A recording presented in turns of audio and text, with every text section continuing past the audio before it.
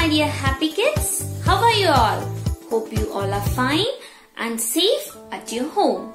So welcome to your computer class. Today we are going to learn a new chapter in computer. So before that, let me ask you a question. How many of you like to hear a story? I know most of you wish to hear a story, right? So let's hear a small story. Okay?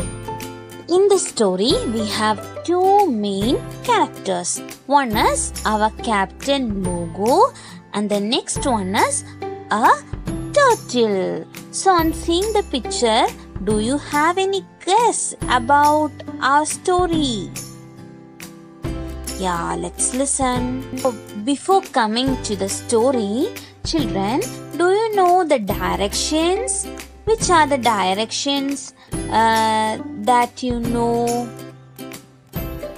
The four directions are forward, back, left, and right.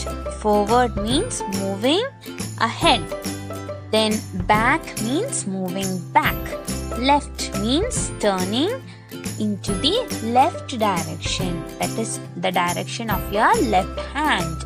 And uh, right means turning in the right direction. That is direction of your right hand.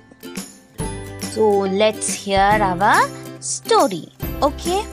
So our story is once our captain logo and our turtle went to a forest in search of a treasure. But what happened? No, in between they have lost their way. Both of them become very sad. What to do next? They began to think. Suddenly, two bunnies jump out from the bushes and they said, We know about the hidden treasure. How can we help you? The bunny said. And one bunny began to say the direction to find the treasure. It is as follow.